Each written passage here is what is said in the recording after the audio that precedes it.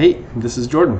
I'm this video going to be going over how to set up a MATLAB interface to a MySQL database, specifically for um, Utah State's Center for Space Engineering, but this is general. So, starting off, MATLAB is a great and wonderful tool. Um, specifically, I'll be using MATLAB 2019A as the version. What you need is you'll need to come into apps and come to the database explorer. This should pop up a window that looks like this. This window in the top left, you've got configure data source and then new query. These are the two big things we'll use, and then import data over here. So for configure data source, you've got JDBC and ODBC. ODBC is Windows specific, so if you're using Windows, that'll work great. If not, JDBC. When you click on either one of these, you'll come up with a window that looks similar to this. This top field is just what you want to call this connection for reference. Um, in our case, we're testing this with a MySQL database. Um, the driver location, this we're going to take a little bit of a side and we're going to pop over here to Chrome. So for the JDBC driver, this works very similar to the ODBC. Um, you just Google it and find it. Um, MySQL has a connector for both of these. You come in here for the JDBC connector. Um, if you're on a Mac, you can go for the platform independent version, which is right here. You can download this, unzip it. Um, otherwise, you can also come back to go to the downloads page and if you're using Windows, again, it's right here. So you download this um, connector, this JDBC connector, and then from there we'll come over to where it got saved. So in my case, this is the path where the connector got stored, um, program files, MySQL, and then connector J 8.0. So this is the file we're going to be after. Um, this is an executable jar file, and so this is what MATLAB needs.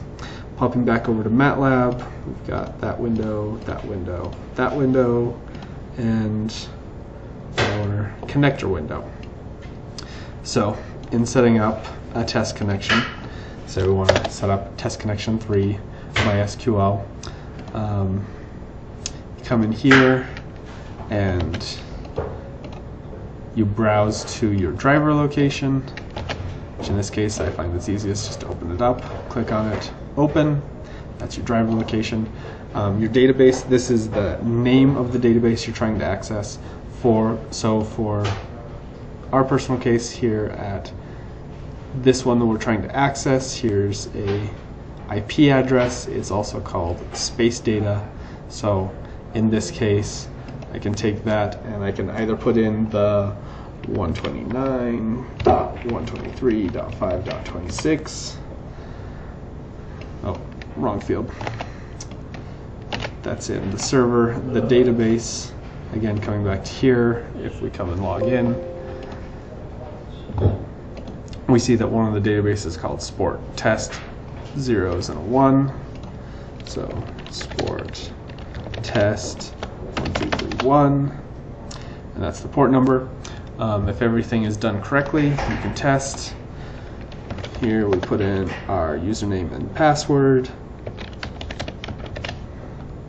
CSE and sport CSE for our case hit test it was successful great then you can save it. Once you've saved it you can close out of this window make that go away. And then from here um, this will be blank for the first time opening.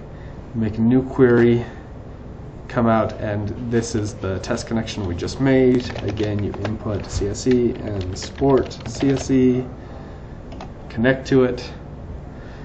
This is where you can change what exactly you're trying to access but this will work just fine leave the schema blank um, comes in here. We've got a new tab for this. If you click over here to the left, you can click the checkbox. It'll show you a preview of the data here. And you can check whatever you want.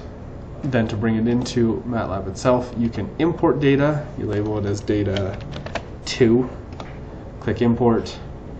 Shows up here as a table. Great, you can manipulate it from there. Also, alternatively, you can come in here and instead of importing data, you can generate a MATLAB script. So instead of clicking import data, this MATLAB script should import this data as well. So you can save the MATLAB script or you can go through the GUI interface. Anyway, that's how you get data from our SportCSE MySQL server and database into MATLAB for editing and reviewing. Thanks, that's it.